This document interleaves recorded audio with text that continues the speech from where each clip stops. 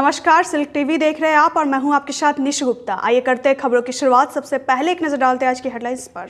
Headlines sponsored by PVY Aastha dreams construction private limited एक चारी में आवासीय ज़मीन एक लाख रुपए प्रति कट्ठा।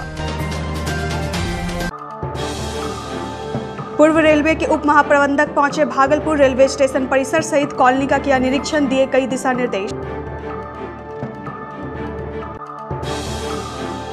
एएसपी अभियान के नेतृत्व में बालू घाटों पर चलाया गया छापेमारी अभियान, छह ट्रैक्टर सहित चार बालू माफिया गिरफ़्तार। नाबालिग से दुष्कर्म के प्रयास मामले में कोर्ट ने आरोपी को सुनाई सजा, नाथनगर थाना क्षेत्र की है घटना।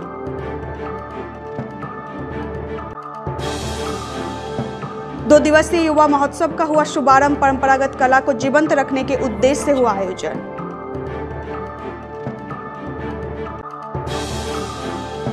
और पिरपैथी में कटाव का कहर जारी, देखते ही देखते गंगा में विलीन हुआ मंदिर। और अब खबरें विस्तार से। पूर्व रेलवे के एजीएम संजय सिंह गहलोत सोमवार को भागलपुर पहुँचे, जहाँ रेलवे स्टेशन पर अधिकारियों ने एजीएम का स्वागत किया। इसके बाद एजीएम ने पूरे स्टेशन परिसर का निरीक्षण किया।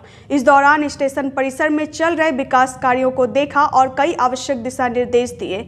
इसके बाद एजीएम ने रेलवे कॉलोनी का निरीक्षण किया। वहीं कॉलोनी में रह रहे रेलवे कर्मियों ने अपनी समस्याओं से एजीएम को अवगत कराया और समस्या समाधान करने की मांग की। वहीं एजीएम ने जल्द ही समस्या समस्या समाधान करने का निर्देश दिया। निरीक्षण के बाद एजीएम ने स्टेशन परिसर में चल रहे कार्यों की समीक्षा की। दरअसल दो माह पूर्व एजीएम भागलपुर आए थे। इस दौरान उन्होंने रेलवे अधिकारियों को कई दिशा निर्देश दिए थे जिसकी आज समीक्षा की गई। निरीक्षण के दौरान एडीआरएम स्टेशन अधीक्षक रेलवे के अधिकारी आरपीएफ एवं जीआरपी मौजूद थे। निरीक्षण के लिए आ रहे हैं सब देख रहे हैं। जी, जी। कॉलोनी और स्टेशन। ठीक है। क्या पाया आपने? अभी तो करेंगे। अगर आपने जमालपुर रेलवे स्टेशन का निरीक्षण किया वहाँ किस तरह का इम्प्रूवमेंट हो रहा है। इम्प्रूवमेंट हो रहा है वहाँ पे। बालू के अवैध खनन को लेकर सोमवार की अहले सुबह एएसपी अभियान ओम प्रकाश सिंह के नेतृत्व में बालू घाटों पर छापेमारी की गई। इस दौरान पुलिस ने छह बालू लदे ट्रैक्टर के साथ चार माफिया को मौके से दबोच लिया।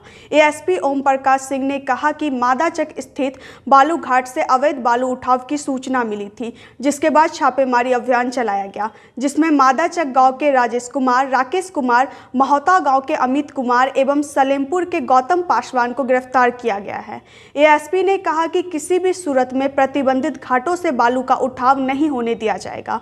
छापेमारी के बाद बालू माफियाओं में हड़कंप मचा हुआ है। छापेमारी टीम में अमरपुर थाना अध्यक्ष कुमार सन्नी, सुनील सिंह, जमशेद खान समेत कई पुलिसकर्मी शामिल थे। भागलपुर पोक्सो कोर्ट ने सोमवार को नाबालिग लड़की से दुष्कर्म के प्रयास मामले में एक आरोपी को चार वर्ष की कठोरतम सजा सुनाई। घटना नाथनगर थाना क्षेत्र के 16 जनवरी 2016 की है। दरअसल सुबह जब लड़की ट्यूशन पढ़ने जा रही थी, उसी दौरान आरोपी संजय मंडल ने नाबालिग को मकई के खेत ले जाकर दुष्कर्म करने का प्रयास किया था। किसी तरह लड़की आरोपी के चुंगुल से छुटकर घर पहुँची और घटना की सूचना अपने परिजनों को दी, जिसके बाद नाथनगर थाने में मामला दर्ज कराया गया। था। वहीं कोर्ट में पाँच गवाहों ने घटना के समर्थन में गवाही दी, जिसके आधार पर पोक्सो के स्पेशल जज विनोद कुमार तिवारी की अदालत ने आरोपी को दोषी पाते हुए चार वर्ष की कठोर सजा सुनाई, साथ ही दस हज़ार रुपए का अर्थदंड भी लगाया। आज थाना खंड संख्या में एक अभियुक्त संजय कुमार मंडल को सजा के बिंदु पर रखा गया था। उसे चार साल की सजा सुनाई गई है पॉक्सो एक्ट की धारा आठ में, और वो एक बच्ची को सोलह दो सोलह को वो ट्यूशन पढ़ने जा रही थी, उसे जो है ज़बरदस्ती खींचकर वो मकई के खेत में ले जाकर उसके साथ बलात्कार करना चाहा, लेकिन बच्ची किसी तरह वो अपना हाथ वो छुड़ाकर, चिल्लाकर भागी और अपने माता पिता को बताई, तब वो थाना में केस हुआ। आज उसे चार साल की कठोर कारावास की सजा हुई और दस हज़ार रुपया फाइन किया गया है। भागलपुर के टाउन हॉल में सोमवार को दो दिवसीय युवा महोत्सव का शुभारंभ हुआ। कार्यक्रम का उद्घाटन ADM Rajesh Kumar Jha Raja, civil surgeon doctor Vijay Kumar, जिला पंचायती राज पदाधिकारी एवं जिला जनसंपर्क पदाधिकारी बिंदुसार मंडल ने संयुक्त रूप से दीप जलाकर किया। महोत्सव के पहले दिन शास्त्रीय गायन, सुगम संगीत, भरतनाट्यम कथक चित्रकला, मूर्तिकला, शिल्पकला एवं नाटक प्रतियोगिता आयोजित किया गया। एडीएम राजेश झा राजा ने बताया कि परंपरागत परंपरागत कला को जीवंत रखने के लिए जिला स्तर पर युवा महोत्सव का आयोजन भागलपुर जिला प्रशासन की ओर से किया गया है, जिसमें बेहतर प्रदर्शन करने वाले प्रतिभागियों को राज्य स्तर पर अपनी कला दिखाने का मौका मिलेगा। इस अवसर पर SDO Ashish Narayan, doctor Vijay Mishra, Ajay Atal K K Jha सहित महोत्सव से जुड़े लोग मौजूद थे। ये कला, संस्कृति एवं युवा विभाग के अंतर्गत युवा महोत्सव प्रत्येक वर्ष आयोजित करते हैं। पिछले वर्ष चूँकि लोकसभा का चुनाव था, इसलिए दुर्भाग्यवश हम लोग नहीं कर पाए। लेकिन इस बार पुनः जो है, विगत वर्ष के बाद में हम लोग आयोजित कर रहे हैं। दो दिवसीय कार्यक्रम है, पच्चीस और छब्बीस को। इसका मूल उद्देश्य जो हमारी परंपरागत जो संस्कृति और जो हमारे परंपरागत कला की विधा है, विभिन्न क्षेत्रों को, जैसे संगीत हो गया, नृत्य हो गया, एकांकी नाट्य हो गया, चित्रकला हो गया इन सारे विधाओं में जो उभरते हुए कलाकार हैं, उनकी पहचान जिला स्तर पर स्थापित करना, फिर राज्य स्तर पर स्थापित करना और फिर देश स्तर पर उनको स्थापित करने का ये प्रयास किया जा रहा है। भागलपुर के पिरपैथी रानी दियारा में गंगा का कटाव दिन प्रतिदिन बढ़ता ही जा रहा है। कटाव के कारण अब तक दर्जनों घर गंगा नदी में समा चुके हैं। वहीं कटाव को लेकर ग्रामीण भी काफ़ी दहशत में है। सोमवार की सुबह प्राचीन काली मंदिर कटाव की भेंट चढ़ गया। दरअसल कुछ दिनों से मंदिर के नीचे कटाव जारी था। अचानक देखते ही देखते मंदिर गंगा नदी में विलीन हो गया। ग्रामीणों के अनुसार कटाव निरोधी कार्य को लेकर संबंधित विभाग को आवेदन दिया गया है। लेकिन कटाव रोकने की दिशा में कोई कार्रवाई नहीं हुई। कटाव के कारण दर्जनों परिवार गाँव से पलायन कर चुके हैं। पाँच दिवसीय भागलपुर महोत्सव को लेकर रविवार को आयोजन समिति की बैठक अंगार कॉम्प्लेक्स में हुई। बैठक की अध्यक्षता समिति के अध्यक्ष मोहम्मद जियाउर रहमान ने की। बैठक को संबोधित करते हुए स्वागताध्यक्ष सा शिक्षाविद राजीव कांत मिश्रा ने कहा कि भागलपुर महोत्सव किसी एक संस्था का आयोजन नहीं है, बल्कि ये पूरे शहरवासियों का आयोजन है और सभी को महोत्सव में सहयोग देना चाहिए। वहीं प्रधान सलाहकार रमन कर्ण ने कहा कि भागलपुर से हवाई सेवा नहीं होने के कारण कई राष्ट्रीय कलाकार महोत्सव में शिरकत नहीं कर पाते हैं। अध्यक्ष जियाउर रहमान ने कहा कि भागलपुर महोत्सव 11 दिसंबर से शुरू होगा, जो 15 दिसंबर तक चलेगा। महोत्सव में दर्शकों का प्रवेश पूरी तरह से निशुल्क है। उन्होंने कहा कि प्रतिभागी समिति के कार्यालय से फॉर्म प्राप्त कर सकते हैं। इस अवसर पर उपाध्यक्ष सत्यनारायण प्रसाद, विजया मोहिनी, डॉक्टर संजय कुमार निराला, नरेश शाह, गोविंद अग्रवाल, विष्णु शाह, तवरेज अख्तर, विजय घोष सहित समिति के सदस्य मौजूद थे। वक्त हो चला एक छोटे से ब्रेक का, मिलते ब्रेक के बाद आप देखते रहिए सिल्क टीवी।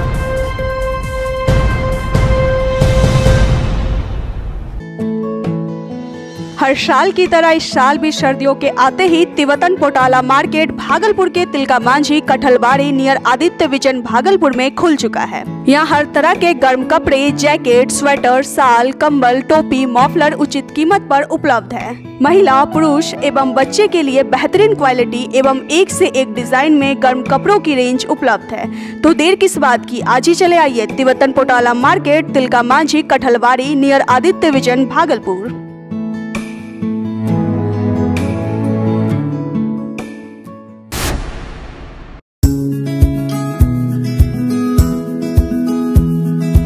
अगर शहरों में रहने की तमन्ना हो तो क्यों ना एक घर अपना हो? अगर पीवीवाई आस्था ड्रीम्स आपका अपना हो तो क्यों बाजारे महफिल में भटकना हो? PVY Aastha dreams construction private limited लेकर आया है एक लाख रुपए प्रति कट्ठा में आकर्षक स्मार्ट सिटी प्रोजेक्ट। अत्याधुनिक सुविधाओं से लैस प्रोजेक्ट में पहले पोजीशन पाएँ, फिर रजिस्ट्री कराएँ। 30 फीट चौड़ी सड़क, नाली 24 घंटे बिजली, पार्किंग, जिम, हॉस्पिटल एवं अन्य कई सुविधाओं के साथ वास्तु को ध्यान में रखकर बनाया गया मंदिर और चिल्ड्रन पार्क भी। PVY Aastha dreams construction private limited मासिक किस्त मात्र दस हज़ार पर उपलब्ध तो अभी बुकिंग कराएँ मात्र इक्यावन हज़ार रुपये में। आवासीय ज़मीन मात्र एक लाख रुपए प्रति कट्ठा तो जल्दी फ़ोन उठाएँ और संपर्क करें seven zero seven zero nine zero nine eight nine four. Eight two one zero nine seven five seven six three seven five four two nine three one five two four six two double zero one zero double two nine seven बलुआ टोला करेला नाथनगर भागलपुर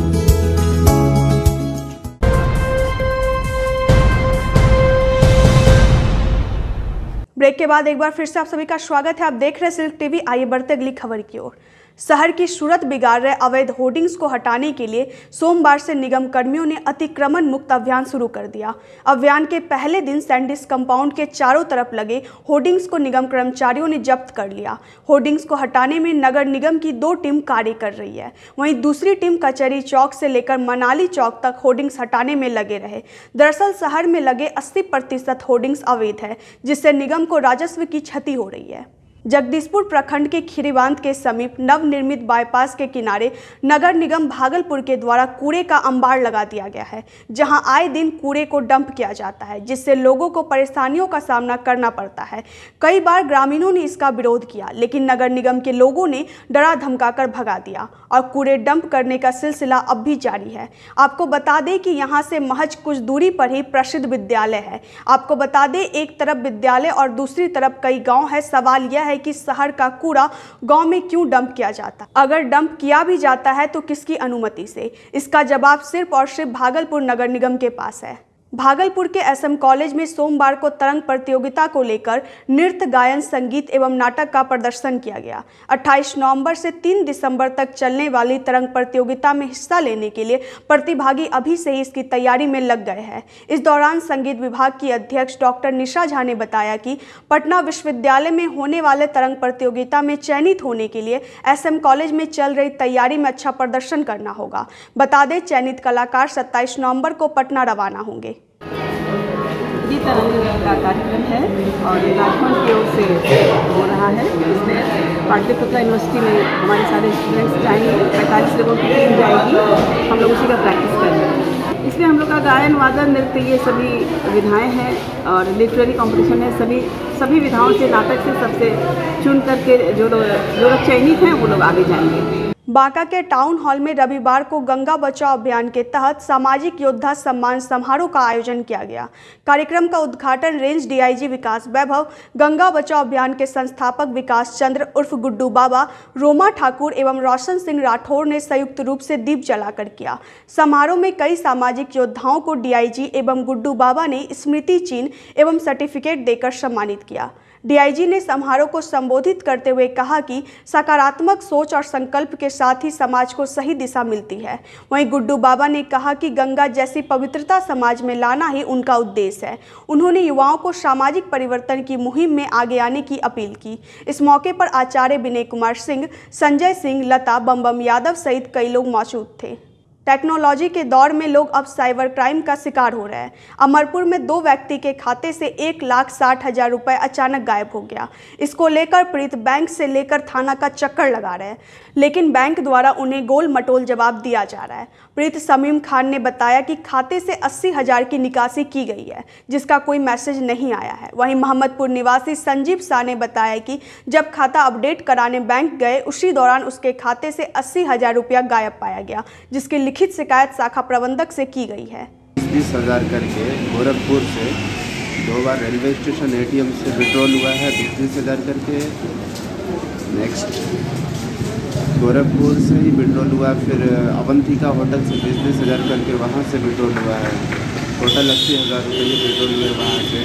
हमें मालूम पड़ा चौदह तारीख, ये अठारह तारीख को जब मैं खाता अपडेट करवाया, तब तो हमें मालूम पड़ा कि हमारा पैसा जो है, गोरखपुर से अस्सी हज़ार रुपये विड्रॉल हो गए परम पूज्य मुनिराज गणाचार्य विराग सागर जी महाराज सोमवार को अपने विशाल संघ के साथ नाथनगर स्थित चंपापुर दिगंबर जैन सिद्ध क्षेत्र पहुँचे। इस दौरान उनके पहुँचते ही देश के विभिन्न राज्यों से आए श्रद्धालुओं में खासा उत्साह देखा गया। वहीं पूरा सिद्ध क्षेत्र श्रद्धालुओं के जय घोष से गुंजयमान रहा। जैन धर्म के बारहवें तीर्थंकर भगवान वासु पूजी की पंच कल्याणक स्थली पर पहुंचकर सभी संत काफ़ी अभिभूत थे। वहीं प्रतिमा के समक्ष गणाचार्य विराग सागर जी महाराज ने संतों के साथ ध्यान किया। श्रद्धालुओं को संबोधित करते हुए विराग सागर जी महाराज ने कहा कि आज समाज मानव मूल्यों की जिस संकट के दौर से गुजर रहा है, उससे उबरने के लिए अहिंसा को अपनाने की आवश्यकता है। उन्होंने कहा कि जिसके हृदय में प्रतिशोध की भावना है, वह व्यक्ति शांति प्राप्त नहीं कर सकता है। सभा का संचालन सिद्ध क्षेत्र के मंत्री सुनील जैन ने किया। इस अवसर पर अशोक पांडे, मनीष गंगवाल, अजीत जैन, नितिन बरजतिया, उत्तम पाटनी, शांति जैन सहित कई लोग मौजूद थे। परम पूज्य गणाचार्य विराग सागर जी महाराज सत्संग चंपापुर सिद्ध क्षेत्र पधार चुके हैं, जिसको लेकर जैन समाज में काफ़ी हर्ष है। विभिन्न राज्यों से बहुत सारे श्रद्धालु बड़ी संख्या में यहाँ आए हैं। आचार्य श्री का दर्शन पूरे संघ का करने के लिए।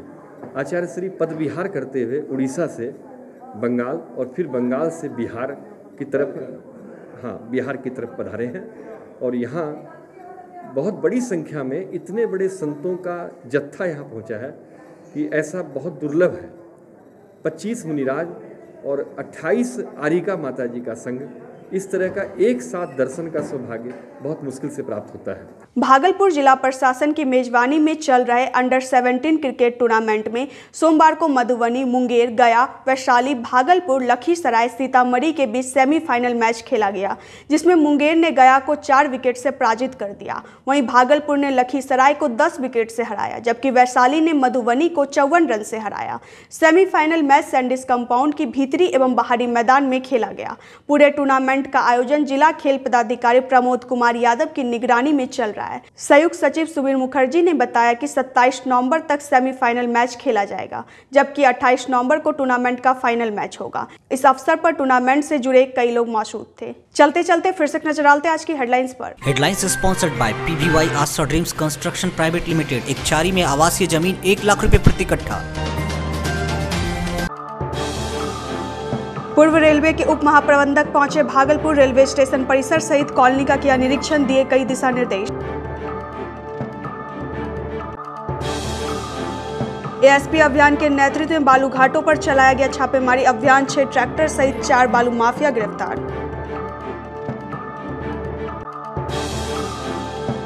नाबालिग से दुष्कर्म के प्रयास मामले में कोर्ट ने आरोपी को सुनाई सजा, नाथनगर थाना क्षेत्र की है घटना।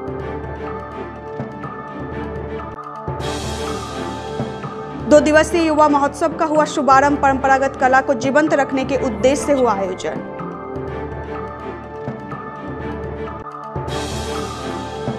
और पिरपैथी में कटाव का कहर जारी, देखते ही देखते गंगा में विलीन हुआ मंदिर। फ़िलहाल इस बुलेटिन में इतना ही, नमस्कार।